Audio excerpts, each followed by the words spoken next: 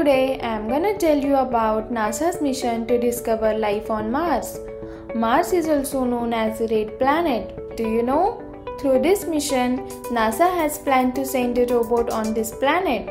The name of that robot is Perseverance. So, are you ready for knowing all about this?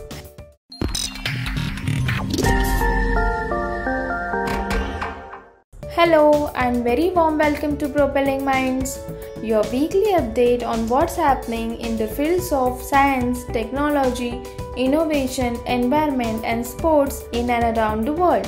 I'm Kajal with you. Let's start.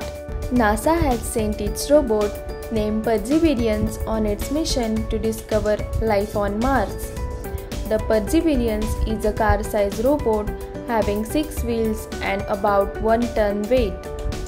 The robot has been launched from Florida by an Atlas rocket. It will intercept Mars next year in the month of February. The robot took along with it a 1.8 kilogram mini helicopter named Ingenuity. That helicopter will be deployed from the robot's belly at the suitable location on Mars. After the deployment, the helicopter will fly in Mars air.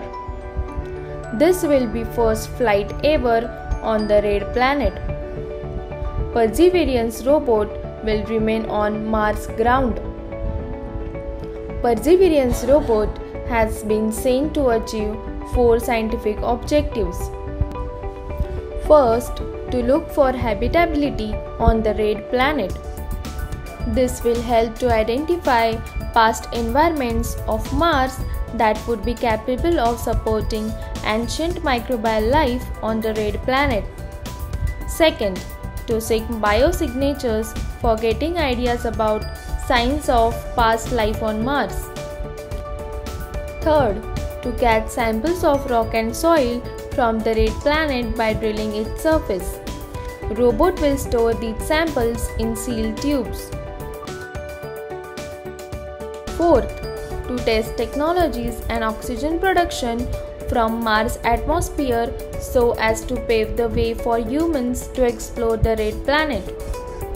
This mission is very important for gaining knowledge about possibilities of future human explorations on Mars. Hope you enjoyed our video. If you are interested watching more such videos, then please hit the subscribe button and also click on the bell icon to become the first to know about upcoming videos.